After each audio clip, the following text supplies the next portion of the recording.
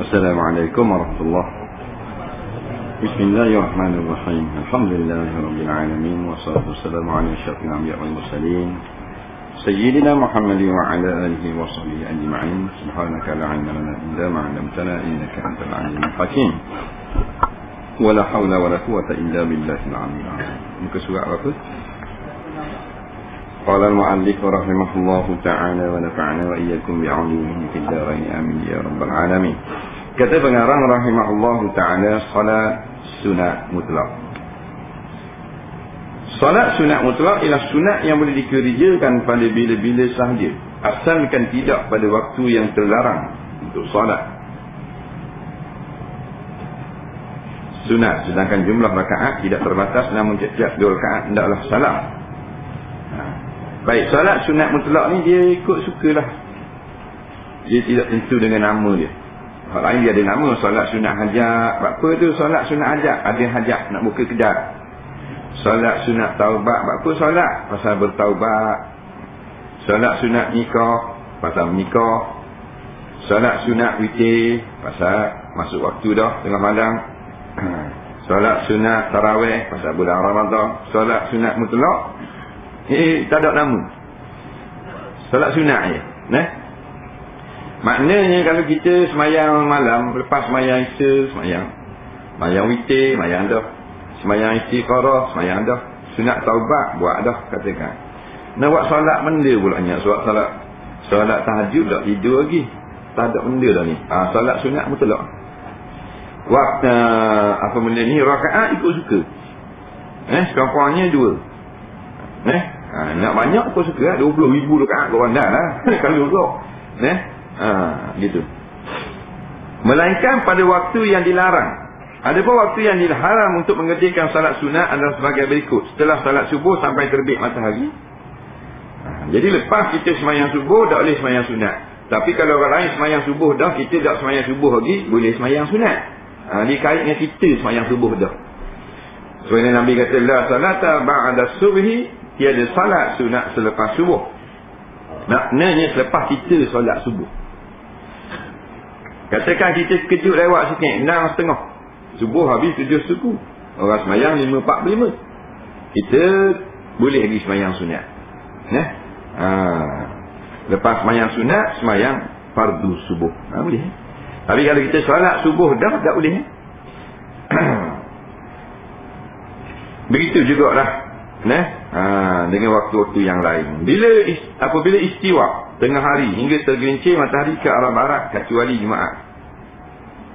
Istiwa ni maknanya waktu matahari tengah-tengah antara barat dengan timur sama tengah. Matahari naik daripada timur jatuh belah barat. Timur dipanggil masyrik, barat dipanggil maghrib. Masyrik maknanya tempat timur. Maghrib tempat barat. Eh?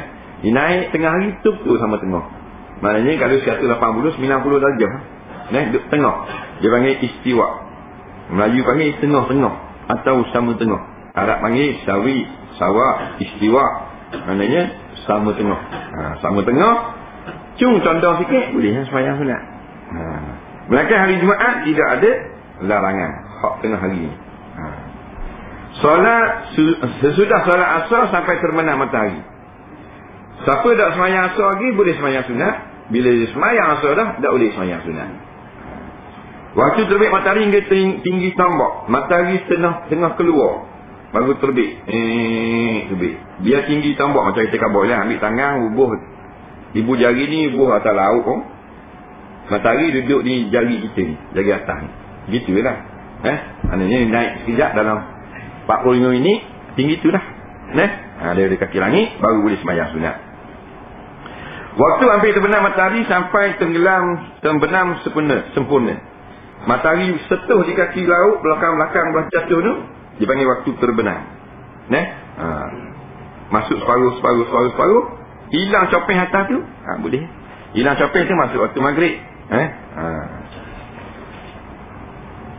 Lepas niatnya soli sunatan sunatan.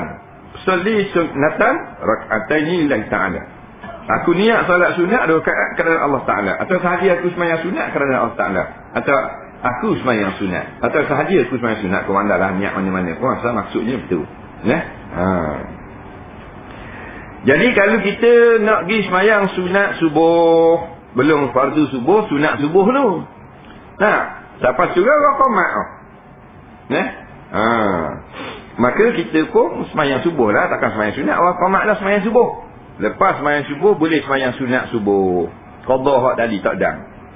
Apa pula boleh? Qadha boleh lah. Dah sengaja, tak boleh. Tanya orang salat sunat subuh, kita duduk petang belakang surah. Lalu tak buat sunat subuh. Cik dia lepas subuh tu buat. Ha, tak boleh buat gitu. Nah, ha, dia memang kita nak semayang sunat dulu. Tapi orang komat dah. Faham lagi? Jadi kena semayang subuh. Lepas semayang subuh, qadha sunat subuh. Nak pergi semayang asal masjid, curah atau di mana-mana lah. Nah, yang orang buat berjemaah. Nak semayang sunat asal dulu. Dah-dah orang pergi, terus semayang dah. Eh, semayang asal tu gerah dekat. Bang mayang halu. Umpamanya, tu bila gerah. Ha? Ha, buat gaduh senyap itu nak pergi jumpa JKK. Ada mari. Awal bunyi ni. Ha. Jadi kita pergi nak semayang sunat asal tengok orang semayang asal dah. Rakaat tiga dah. Ha, kita semayang asal dulu. Habis semayang asal, semayang sunat asal hak tadi. Ne? Jawabnya boleh. Ne? Ha. Kita ulang tak moda hak Nabi, tak dang nak semayang sunat qabliyah zuhur. Dia qada lepas mayang asar kan faham pas mayang asar tu ne ha. Baik selesai dah masalah sunat mutlak. Solat sunat awabin. Ha solat sunat awabin. Solat sunat awabin dilaksanakan setelah laksanakan solat sunat ba'dal maghrib. Ba'diyah lah dan dikerjakan dua rakaat sampai enam rakaat Lepas niatnya ustazi sunat al-awabin raka'atan lillahi ta'ala Aku niat solat dua rakaat al-wabin kerana Allah Ta'ala. Caranya, niat solat dua rakaat. Setelah baca baca baca surah Ikhlas enam kali, surah Al-Falaq satu kali, surah An-Nas satu kali. Demikian pula rakaat kedua, sama saja. Setelah salam dua rakaat, solat, solat lagi dua rakaat. Surah yang dibaca, boleh surah apa saja yang dikenaki. Sehabis salam dua rakaat yang kedua, lalu berdiri dan salat lagi. Selesai baca baca surah. Kemudian dibaca surah Kafirun. Rakaat kedua, setelah Fatihah, kemudian dibaca surah Al-Ikhlas. Baik. Solat sunat awabi ni solat sunat yang tidaklah ijma' ulama. Sebab tu dia ada pendapat-pendapat. Kadang-kadang kita dengar, kita baca artikel, kita tengok, nak. Dia kata tak sunat. Jadi tak so pelik. Kerana solat sunat awabi, solat yang berlaku khilaf di kalangan ulama. Nah, ha, jadi sebagian ulama mengatakan ada solat sunat awabi, sebagian ulama mengatakan tidak ada.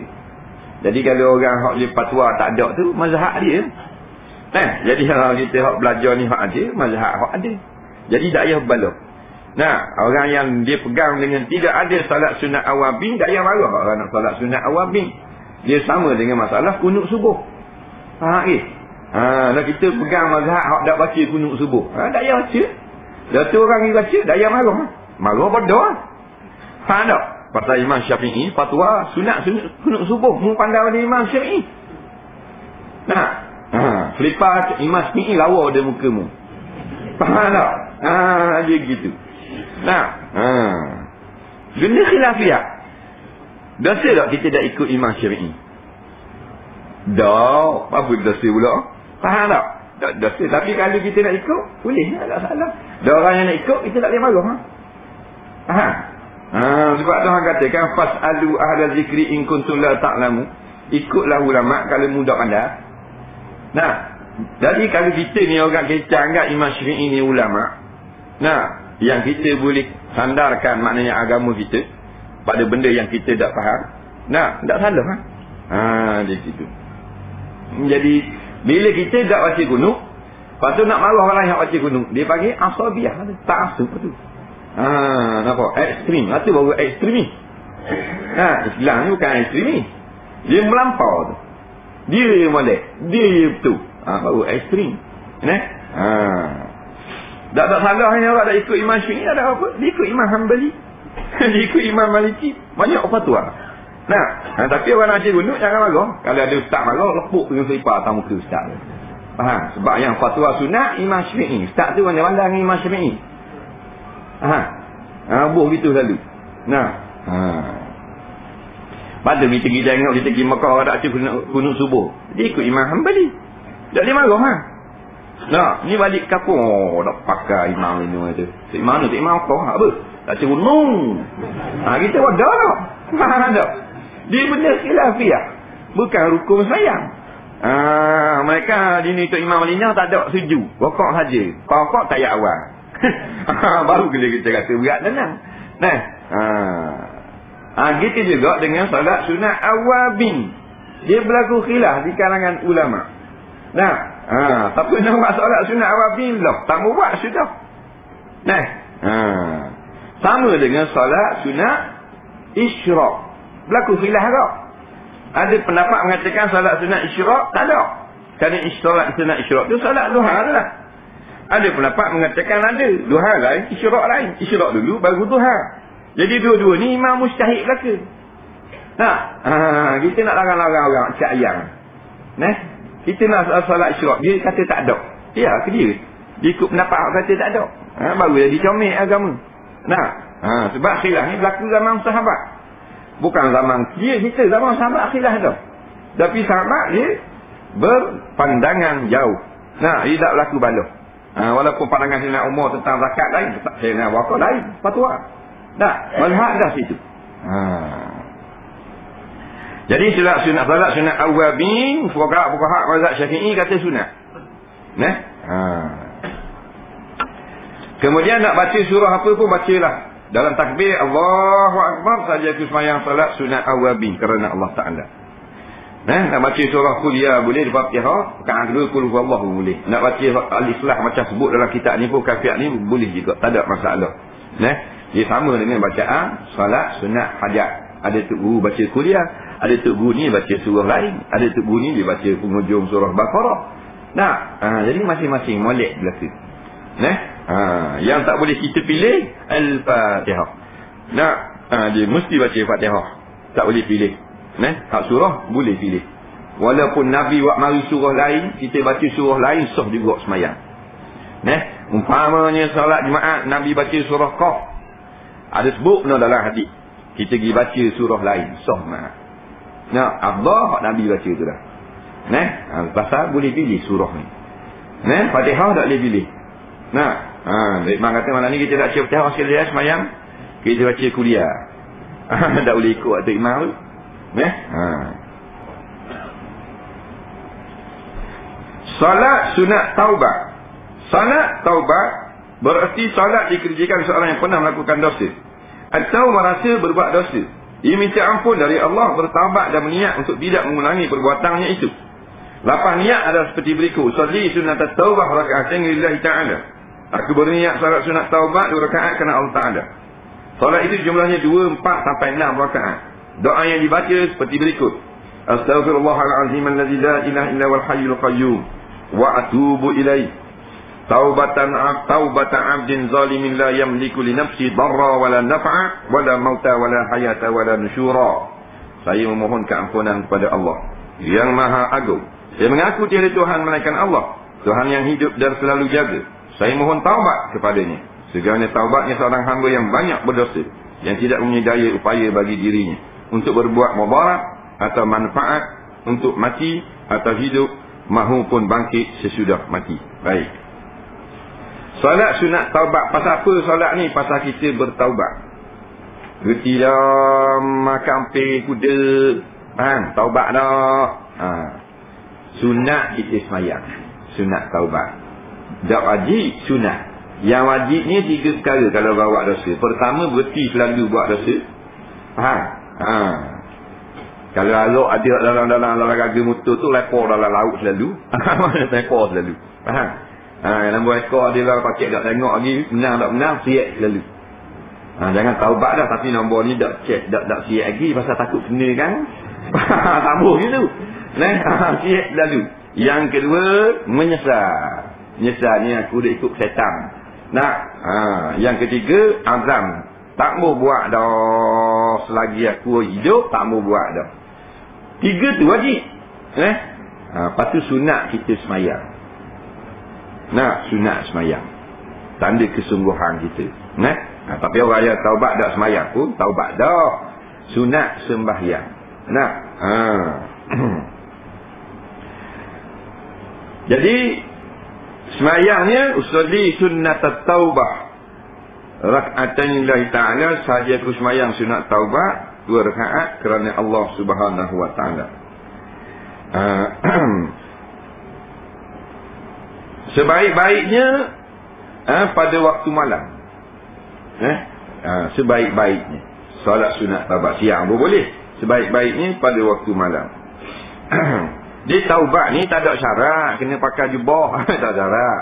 Neh, ha, pakai baju MU pun boleh taubat. Tak ada masalah. Neh, cuma sunat kita ambil air semayang. Nak bertaubat. Neh, pakai pakaian yang putih. Sunat. Neh, ha, di waktu malam. Dah. Ha, sunat waktu sunat. Neh, ha, Pak wajibnya tadi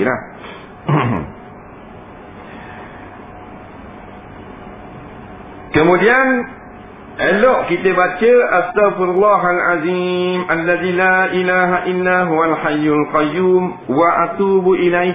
Ha. Maknanya astaghfirullahalazim aku minta akan Allah keampunan. Allah mana Allah yang azim, yang maha agung. Allazi la ilaha illa hu yang tiada tuhan melainkan dia. Al hayyul qayyum. Dia yang hidup dia yang berdiri sendiri wa atubu ilaih dan aku bertaubat kembali kepadanya. Nah ha, taubat ni maknanya kembali. Nah taba kembali. Kembali ke mana? Kembali kepada fitrah. Pasal kullu mauludin yuladun ala fitrah. Semua bayi itu bila diberanakkan fitrah fitrah ni maknanya bersih dari dosa jadi kita taubat maknanya balik kepada keadaan bersih. Daripada kotor, jadi bersih. Nah, ha, bersih dalaman lah. Baju kotor pasal kerja pemain.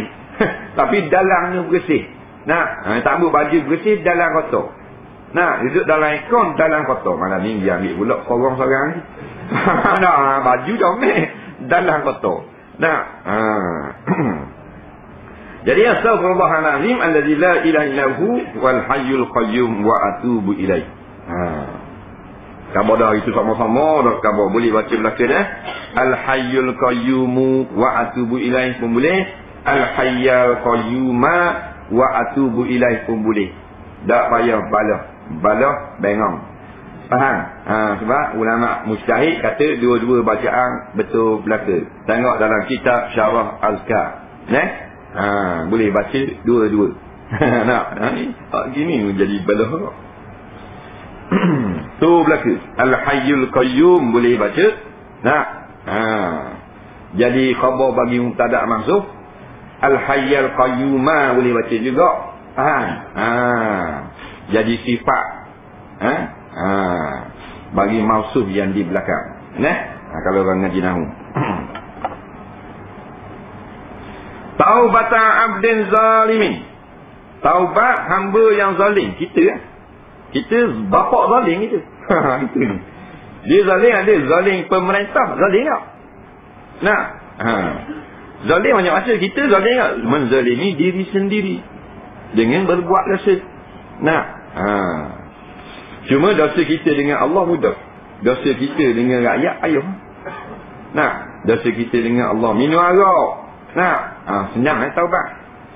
Teruk botol agak, tak minum dah, menyesal tak mau minum dah.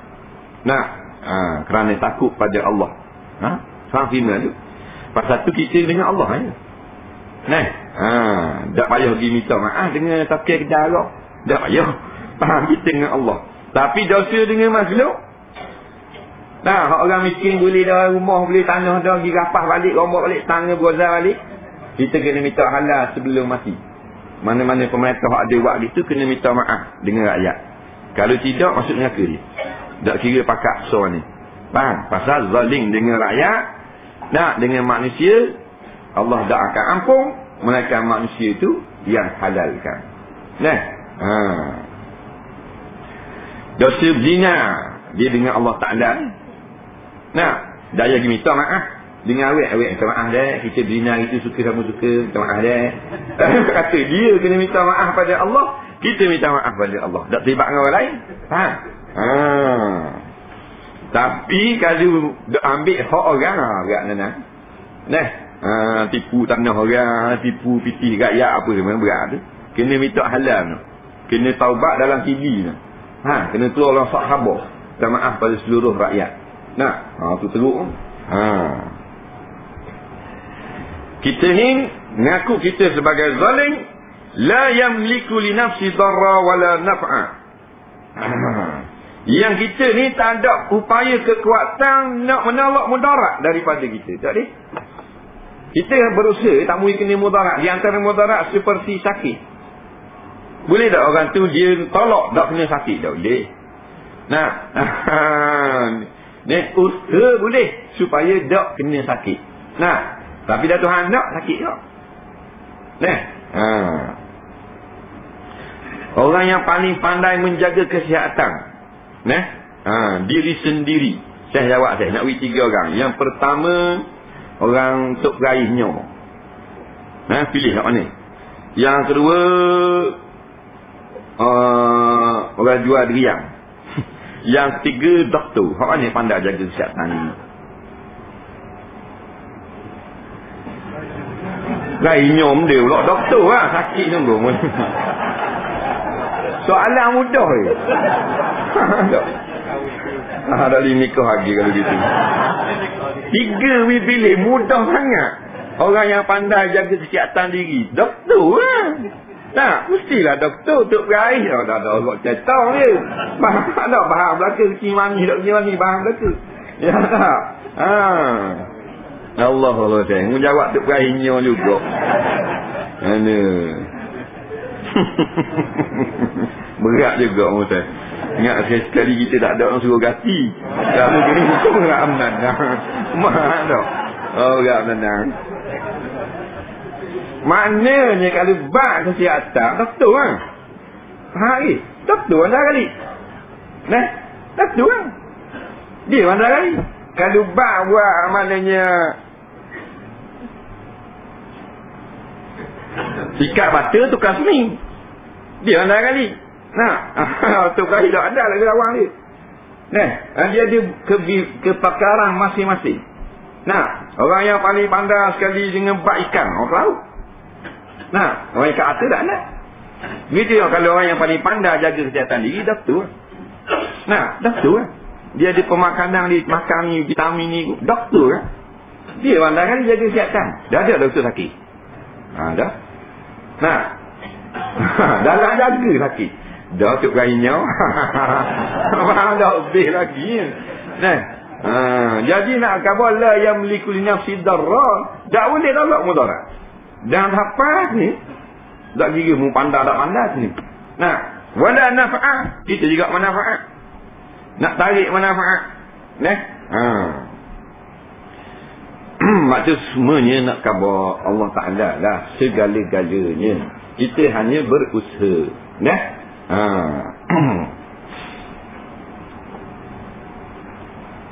wala mauta wala mauta wala hayata wala nusyura mati pun kita tak boleh nak kontrol bila mati tak mati kita nah ha. Yang patut kita tengok mati tak mati yang patut kita tengok panjang umur mati. Nah, sebab dia dah ikut kita. Tak? Kenapa saya? Dia dah ikut kita. Orang tua patut mati. tak mati. Nah, orang muda, budak-budak patut hidup kan? Mati. Baru jauh dua mati lemas. Nah, orang tua dah lemah-lemah sekarang. Nampak? Ah, pasal apa? Pasal dia tak kira kita. Kalau kira kita, molek mati apa tu? Nak? Ha, molek mati apa tu lah dulu. Hak semolek-molek ni. Nah, tapi tak. Dia tak kita. Ha, jadi kita tak mampu sedikit pun nak kawal ha, tentang mati ni. Idza jaa ajaluhum bila datang kematian la yastaqiruna sa'atan wa la yastaqdimun. Tak boleh akhir, tak boleh awal walaupun satu saat saatan walaupun sekejap boleh? Nah ha. Kalau tak ambuh mati jatuh tekad 19 dia tak ambuh daripada tekad 19 jatuh. Tapak ke bawah patah peha patah tangan. Hidup. Nah Tuhan nak mati. Tuhan nak mati jatuh kati mati. Satu katil. Katil takkan tinggi 800 meter. Tak ada ada ke tinggi setu eh katil. Bawah atau kau. Ini tendang di bini. Faham? Ha. Tak mati-mati pun. Nak. Ha. Kalau nak kira mati, orang miskin mati dulu. Susah. Nak. Pitih ada dua ya lah pakai. Tak mati-mati pun. Nak. Ha. Miskin sangat. Nak. Ha. Kaya. Mati. Michael Jackson. Ha. ha. Mati. Ini tak kira kaya miskin. Kira siapa masa. Nak. Apa rasa mati? Ha. Saya minat Michael Jackson. Minat. Ha. Lagu boleh. Eh? Lagu? Back. Oh, kelah. ha. Dia lebih kurang cikgu ni cikgu-cikgu ni. tak ada orang ni. Ha. Eh? Ada mana duduk jauh ha, mana duduk kat kan? Salat sunat hajat. Wallahu a'lam eh. Ha. Baik, kita tengok soalan.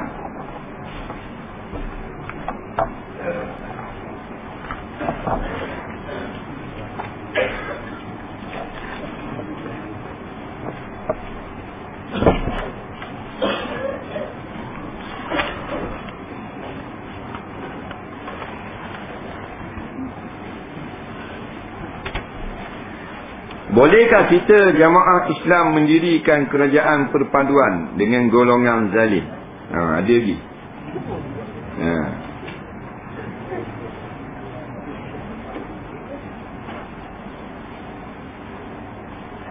Nak jawab apa ni?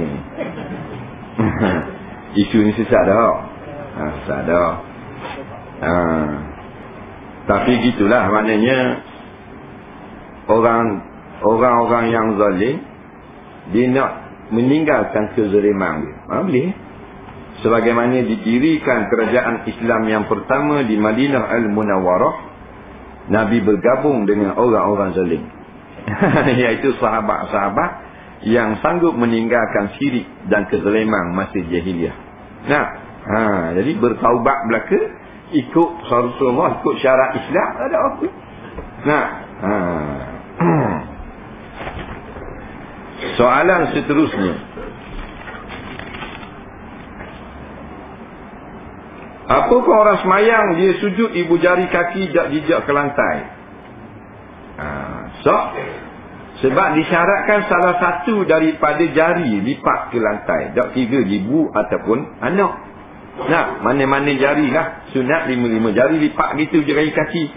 Nak kurang-kurang ibu pun tak apa dah. Tapi kalau kita ibu tak, tak lipat, hal lain lipat, sah juga nak kena perut anak jari. Ha. Betulkah ada orang kata mazhab Imam Malik kalau pakaian kita kena najis binatang yang halal boleh buat semayang? Betul. Seperti najis benda binatang dia. Kita sebenarnya boleh makan. Ha, seperti kena tarik ayam. Nah, dalam mazhab Maliki, dia kata soft semayang. Eh, kalau binatang tu sembilan tak boleh makan, baru dikira tak sah semayang.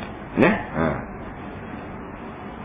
Saya ada dengar saat jawab radio Terengganu kita dengan Timbalan Mufti. Dia kata semayang daim para wali. Betul ke? Betul lah. Semayang daim ni semayang para wali. Cuma nak faham lah. Semayang daim hak mufti ni kata dengan semayang daim hak puak-puak sesak ni pegang. Nah, semayang daim hak mufti ni kata semayang para wali ni maksudnya mereka ingat Allah Ta'ala sentiasa. Faham lagi? Ha, ingat sentiasa. Di dalam semayang lima waktu. Dan di luar semayang lima waktu. Itu maksudnya da'i kekal. Nak kekal dalam zikrullah. Salat da'i yang buat-buat sesak ni kata. Tak ada salat lima waktu. Tapi zikir saja. Ha, ada beza tak? Ha, ada beza.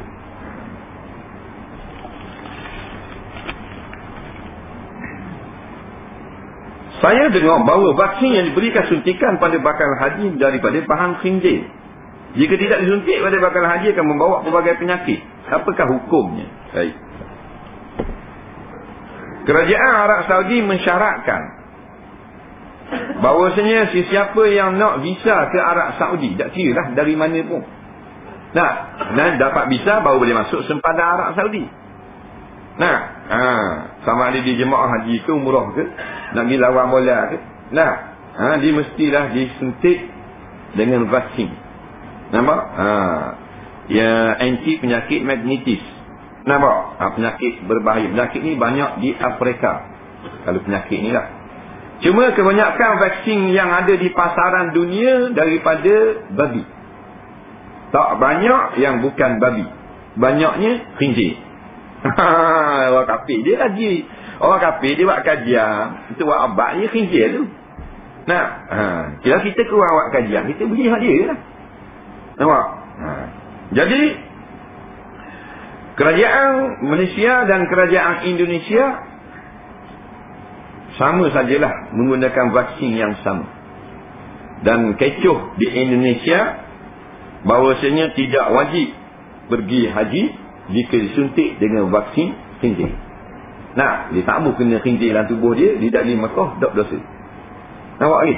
Mereka bila ada vaksin yang suci yang tidak najis, maka wajib dia pergi ke. Nah, kemudian pihak di Malaysia pula ada yang mengambil pendapat satu kaum daripada seorang ulama Saudi yang mengatakan darurat. Tak apalah, babi pun darurat sedikit saja. Kerana nak berobat. Nak Ha, jadi mungkin benar juga kau tu. Kalau tidak ada pananya kalau maknanya obat yang standing dengan dia vaksin tu babi pun darurah. Famanik turra ghairu baghin wala adil fala isma alaih. Nah, ha, siapa yang masuk dalam hak darurah terpaksa dengan suntik nak elok penyakit berbahaya ni, tak ada obat yang suci, nah, maka fala isma alaih. Tak ada dosa baginya. Dan dia bukan sengaja nak hak vaksin babi bukan dia pilih. Kalau pilih haram, doktor kata nak vaksin lembu se, babi se. Setelah dia tu, babi apa? Ah, dah, ah, tu baru haram. Dan tidak melampau batas. Jadi, kena juga pendapat fatwa ulama Saudi. Nah, ha. Jadi, orang yang tak mau pergi kerana tak mau beri suntik babi ni, kena juga. Ada juga sandarannya. Nah, ha, cuma kita nak persoalkan, Bapa yang kita ni, kerajaan Islam dunia ni, siapa tidak tidak cari alternatif lain. Ha, situ. Duduk lara, duduk main joget. Badan duduk main buah musim, duduk main formula wang, main apa. Nah, badan duduk buat jawatan, duduk buat stadium utuh, duduk buat tu. Habis beratus-ratus bilion. Duk pun cari alternatif vaksin lain. Untuk jemaah haji. Sebab dia anggap remeh-remeh benda gini. Nah, ha. Apa tahu kalau apa dia kata Pak, uh, kalau kita berti lu main sokang, bola berti itu berti-berti lu. Sampai jumpa satu vaksin yang bukan babi. Untuk jemaah haji kita. Nah, uh, buat kajian tu. Uh, tu baru tu. Ni jauh orang bagi yang hak benda baik model itu tak murah habis biti. Nah. Ha. Tidak boleh apa panggil orang kafir pun boleh. Panggil pakar-pakar vaksin yang mereka vaksin. Pakar-pakar lah perubatan. Upah dia. Ha, Malaysia nak upah cari satu vaksin yang bukan daripada najis. Bayar lah 10 juta. Ha. Ha. Pada luar stadium, datang tahu main bola. Ni nak main kan? Bulu kapok gitu. Nah. Ha, ha, ha, ha. Ni, ni. Ha, situ orang nak pertikar. Nah, ada pertikar masalah kawan dia kata ada maaf dan maaf eh. Nah. Masalah kita tadi tak cara alternatif. Nah, ha, pada joget, pada main wayang gambar, habis gitu dia. Dan nyanyi ke ayah haji. Kacok tengok masa. Ha, ayah haji geli nak babi. Kepala tubuh. Kita ada cukup duit nak buat untuk satu orang je pergi haji. Ha, haji ke? Ha. Mana lebih Allah kita buat haji untuk diri kita sendiri atau kita buat untuk ibu bapa kita yang telah arwah? Kerana kita belum buat lagi. Ha. Jawabnya dalam bab ni waqaddimu li anfusikum. Diri kita dulu. Faham? Diri kita dulu lepas tu baru kita puas haji untuk mak ayah atau sahabat anda yang lain. Nah, ha, diri kita dulu. Orang nak ambil upah haji pun dia kena haji dia dulu. Nah, dia nak ambil upah haji. Dia nak pergi Mekah, kita nak upah dia. Suruh buat mak kita. Dia pergi buat. Padahal dia tak pergi haji lagi. Dia buat, jadi dia haji. Mak kita ada. haji boleh dia. Nah, ha, pasal orang yang tak buat haji lagi, tak boleh buat untuk orang lain. Jadi awak diri dia dulu. Nah, ha, jadi tak, begitulah maksudnya. Dalam bab gini, bab akhirat, kita dulu. Dalam bab dunia, orang lain dulu. Ha, dia kaedah gitu. Eh? Ha.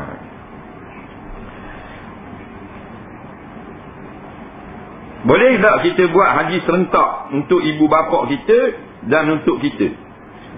Atau kita kena upah orang lain? Tak boleh kita itu. Dua tuan kali haji tak boleh. tak, satu haji seorang je. Eh? Ha, mak dua ribu nak buat untuk ayah pula dua ribu dua orang kena buat. Nampak? Ha, tak boleh nak ating gitu. Kalau ngaji kubur boleh. Mak dengan ayah duduk dekat kubur. Kita pergi ngaji Quran dua-dua dapat rahmat. Ha, tu lain. Neh, boleh buat dua dalam satu. haji tak boleh. Neh, dia nak pergi haji nak buat mak dia, ayah dia, tok dia. Ha, ni boleh. Tok seorang. Sekali buat haji tu seorang ni. Neh, tak apa dia, mu ke siapa? Haji ni, hak munuk akhirat ni siapa? Seorang ni. Neh, ha, haji dia seorang. Ha.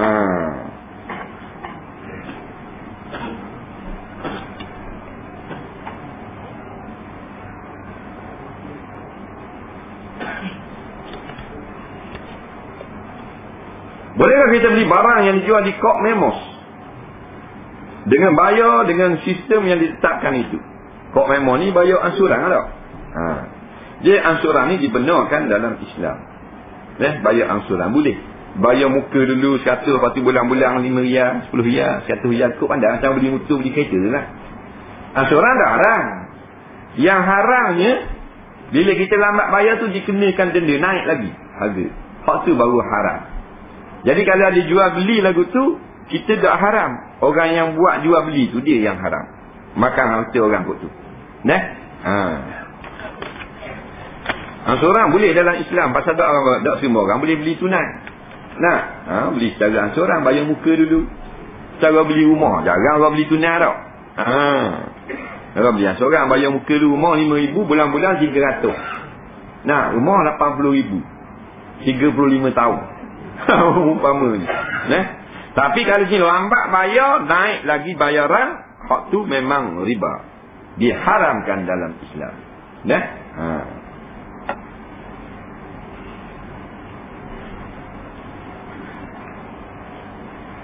Saya sedang menjalani latihan praktikal di sebuah farmasi terkenal di Terengganu. Ahli farmasi tersebut merupakan seorang Cina Kristian yang sangat disegani kerana keramahannya dan sikap perhatian terhadap pelanggan.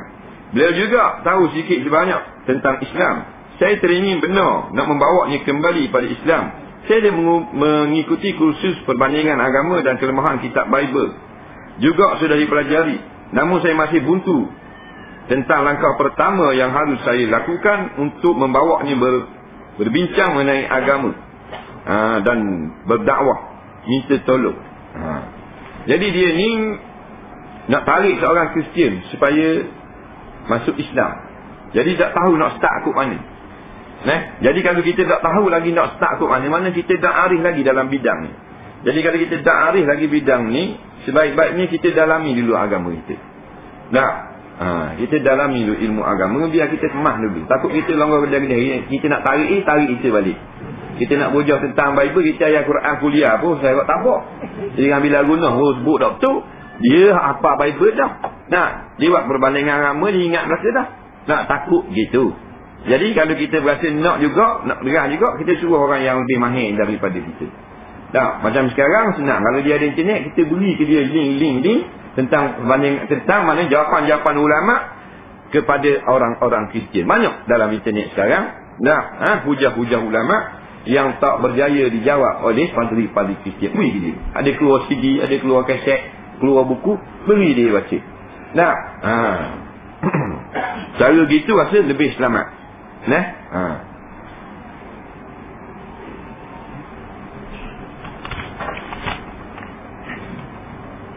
Boleh tak dividen SP guna untuk membeli barangan yang bukan makanan atau minuman seperti perabot, bayar rumah, bayar bil dan lain-lain.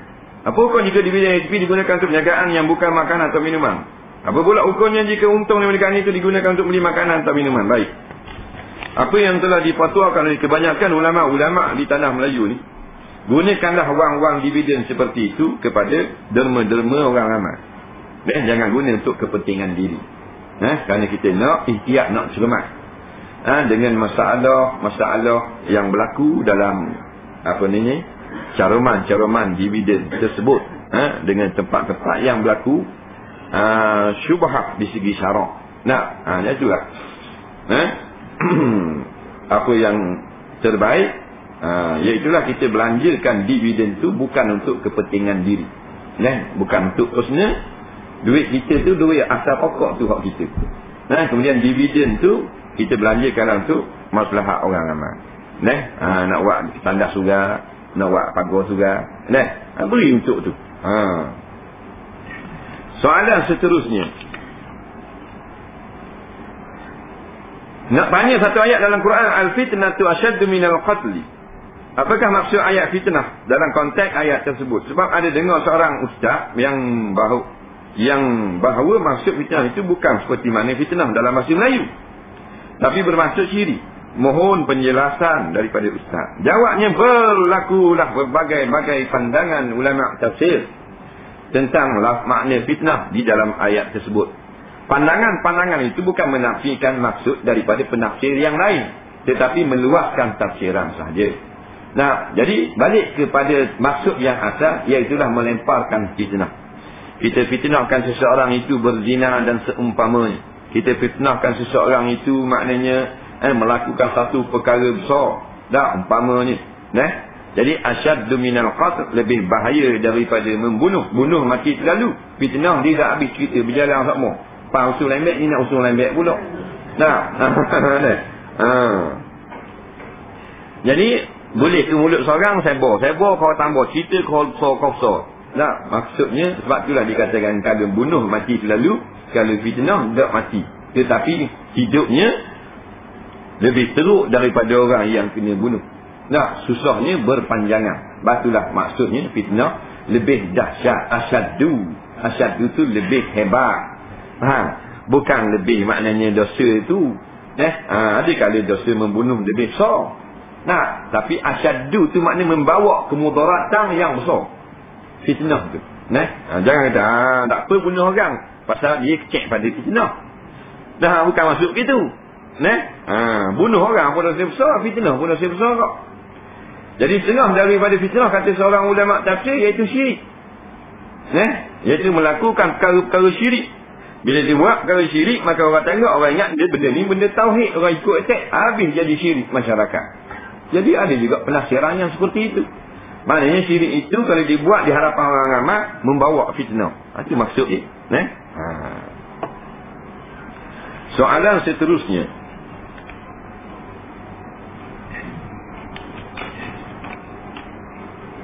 Macam mana nak semayang qadar? Kalau qadar subuh ada tak kunut? Juga ke? Ha. Dia nak qada semayang. Semayang qada ni qada lah. Kalau kita semayang zuhur, 4 rakaat, qada 4 rakaat. Macam biasa. Rokok macam biasa. Bukan rokok ni rakat kaki siapa yang dah kata. Macam biasa. Gitu je lah. Nah, sama macam semayang lah. Cuma luar waktu dia panggil qada. Dalam waktu dia panggil tunai. Benda tu le. Tak lari sikit. Nah. Ha. Dah kali dia qada subuh, baca kunuk tak? Ha, baca kunuk. Dah tak mau baca. Hmm. Semayang tunai pun tak mau baca tak apa. Nah, cuma dah kita semayang maaf tak imam gunung. Dia baca gunung ah. Nah, ha, imam dah baca gunung. Kita dah baca gunung. Benda benda benda sunat. Nah. Ha. Lain tak imam tak buat benda rukun. Ha, ha, tak imam tak rokok sujud selalu. Ha, itu tak boleh. Kita kena tegur subhanallah.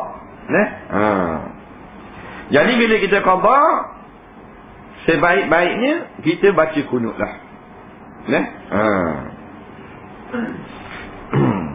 Dan kalau kita qada tak baca gak kunut, tak ada masalah. Nak qada pagi ke 11 pagi main subuh ni. Qada ke petang ni. Lepas gaib boleh. 12 malam boleh.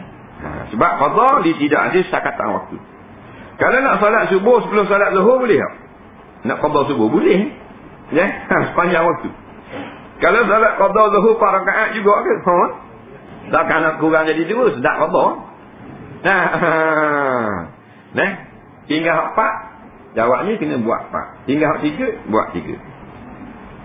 KWSP ada kemana tak dengan riba? Tak ada. Nah, ha, cuma setengahnya ada kawan mengatakan dia mencarum nah, ha, pada tempat-tempat yang berlaku syubhah kesama orang daripada kesusahan muamalah Islam.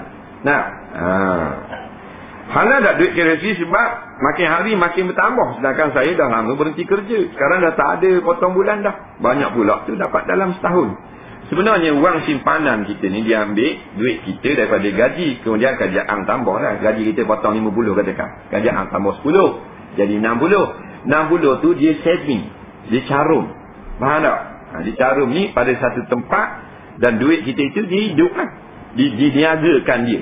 Nampak? Ha, jadi yang dapat lebih daripada kita simpan tu adalah keuntungan perniagaan tersebut. Nah, ha. Kalau kita nak cermat tu, nak warak, hukum warak. Jadi kita ambil ke sikit lagi, kita kira nilai hak kita sahaja. Hak faedah itu, harap dividen itu, kita beri sumbangan-sumbangan untuk tabung-tabung jihad. Itu cara paling warak. Kalau hak pekah, tak apa dah. Hak warak. Ne? Ha, warak ni kena ada tak? Nah. Ha.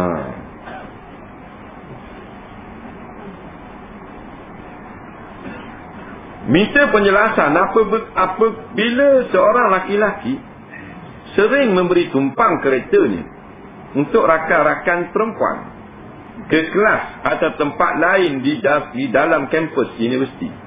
Adakah dikira salah walaupun niat untuk menolong? Ha. Baik. Daripada dia belajar-pelajar universiti. Dia kata dia seorang ni naik. Dia ambil student perempuan, pelajar perempuan. Tupang kereta dia nak pergi ke kampus, nak pergi balik, nak pergi ke kolej ke apa ke nak, nak pergi dewan ke, tupang kereta dia. Hukumnya salah ke tak? Jawabnya tak salah. Kalau kena cara ni. Contohnya perempuan tu ramai. Dia seorang. Nah, dia duduk depan. Dan kereta dia, eh kereta dia berlalu. Orang puang duduk belakang belakang tu dalam kereta lah bukan atas bonek amal-amal duduk belakang itu buat macam tahu siapa jatuh berbok gitu nah, ha. dan bila tu bila keadaan kereta dia itu tidak memberi fitnah kalau kereta dia ni cumi gelap ha, memang tak boleh pasal memberi fitnah walaupun kita duduk dalam buat benda molek tapi kita buka fitnah cumi gelap tak buat benda rafang lebih Padahal kita niat tu. Tapi kalau cerah dalam kemper, bukan dalam pokok, bukan dalam gok, masukkan dalam bukit, dalam kemper saja. Pak puan tiga orang tu pang duduk belakang. Dia seorang duduk depan, sama macam teksi. Faham lagi? Jadi boleh. Ha. Sebab kalau fitnah, masa gitu, orang tak ada fitnah. Ha? Pada ada, tak fitnah. Ha? Tapi kalau jumi gelap, fitnah. Jadi fitnah. Nah, walaupun dia duduk dalam tu, dia ngaji Quran. Biar baca imam. Awak belakang betul. Betul Tik Imam. Tik Imam salah. Faham? Haa. Igang bila guna. Tak. Memang dia buat sungguh. Hanya itu. Tapi cermin gelap. Nah. Hukumnya haram. Haram apa? Haram buka itu fitnah. Kita yang buat fitnah. Sehingga orang syok wasangka. Haram itu. Sebab tu orang yang tak khabar orang nikah. Nak dia balik bini. Nyak-nyak malam-malam. Hukumnya haram. Haa. Padahal ini dia. Nah. Dah haram lagi nikah dah tu. Siap dengan wali, siap dengan saksi, dicok saudara dengan dia kiki. dah ingat, dah ingat. Ya? Sah belakang dah. Dengan bagi telur apa semua. Tapi dah kabar pun tempat dia duduk tu. Inilah isteri dia. Dia balik seorang-seorang gitu je. Dan adat situ, negeri tu, kalau buat balik malam-malam, memang jenis bukan isteri. Memang zina. Memang berkhaluat. Nah, maka dia buat isteri dia sendiri, jadi haram juga. Bukan haram dia dengan isteri dia.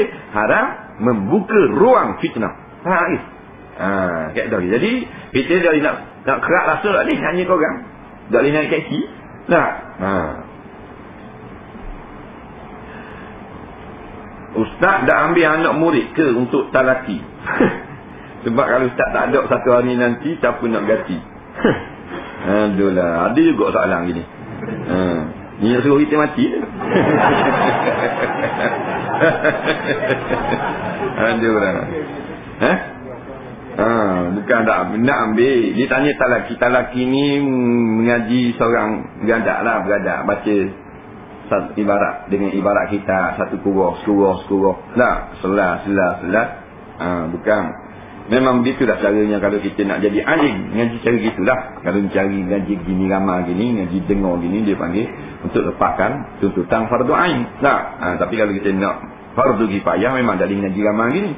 Nah, ha, kena ngaji selah-selah. Ha, nak sangat. Nah, ha, tapi insyaAllah akan ada ada rezeki kita nak buka satu tempat. Nah, ha, satu balasah kata tak tanah nak jumpa kabar lagi tak jumpa lagi. Tak sesuai. Ada tak sesuai. Nah, boleh dah buat balasah tapi orang nak masuk speed pula.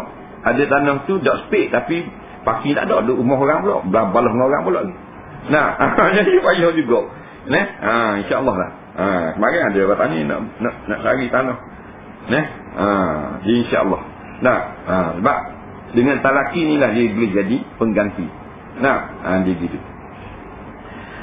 Ngaji nahu, ngaji syarah, ngaji makni, badai, bayang, ngaji apa benda, istiarah, ngaji usul fiqh, usul tafsir, ngaji lughah.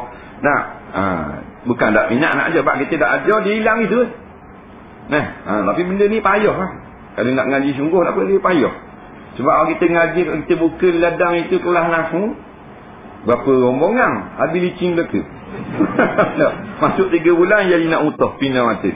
Nah, yang di hmm, kelar gitu. Ya, payah, barang payah. Nah, ha, tu baru nak dah masuk seorang hati, tak tasbih ni. Nah, ha, jadi orang yang minat-minat, tu minat lah. Orang baru boleh talaki ni. Nah, ha, sebab belum kita nak talaki kitab-kitab fiqh, kena mahir tu kita angkat alat ni. Nah, ha, insya-Allah. Ha, nak sangat. Dah. Soalan terakhir lah. Tak ada ni insya-Allah minggu depan. Saya ambil hak rekan-rekan dah. Saya lagi nak ambil. Dalam solat jenazah, setengah orang kata kita kena cukup semayang fardu kita dulu. Baru boleh semayang jenazah. Maknanya kita kena qadar semayang yang ditinggalkan masa muda-muda dulu. Benarkah pendapat ini? Berkaitan dengan jalan, jika kita lalu atas tanah orang yang tuannya tak suka, apakah hukum orang yang menggunakannya? Baik. Masalahnya semayang jenazah. Ada orang kata kalau kita aa, ah, ada qadar lagi tak boleh semayang jenazah. Jadi memang ada pendapat setengah ulama fiqh yang berkata seperti itu. Eh, walau bagaimanapun ada juga ulama yang berkata kita boleh solat jenazah. Sekalipun kita ada lagi hutang yang banyak. Tak, umpamanya kita masih muda kita banyak tinggal semayang. Kita qadar lah. Nak. Ha. Qadha, qadha, qadha. Ada orang panggil semayang jenazah. Ada kematian berlaku di kampung. Ah, salat jenazah. Nah, ini juga ada pendapat. Dengan kita tidak meninggalkan qadha, kita boleh salat jenazah dan salat-salat sunat. Nah, pendapat ini juga ada pendapat ulama yang yang muktabar. Nah. Kemudian soalan yang terakhir. Tuan dia tak suka lalu atas tanah dia. Mana hukum? Nah, baik. Masalah tanah. Masalah yang begitu rumit dalam kitab-kitab fiqh panjang benar lah kalau bak tanah ni kita pun tak reti mana kok nah ha. dia ambil hukum dasar kalau tanah tu memang menjadi laluan daripada asal lagi maka suka atau tak suka pun hukumnya tak berdosa orang lalu situ ha, eh. sehingga kan kalau kita buat bangunan dan kita kena beri juga ruang untuk lalu di situ Jikalau tidak ada lagi laluan lain. Kalau kita tutup pagar semua sehingga tersekat laluan orang ramai, hukumnya haram berdosa besar. Sebut dalam hadis, jelas dalam fatwa-fatwa ulama. Siapa gitu no? Pasal tanah kira hak sebenar ni, tanah hak Tuhan wi pinjam aja. Cuma kita ya buat akuang. Kita kita kita. Nah, ha, sebab itulah kalau kita ada tanah, kita pun tanah kita tu orang lalu lama dah. Kita mari nak buat rumah, kita kena pergi lalu juga.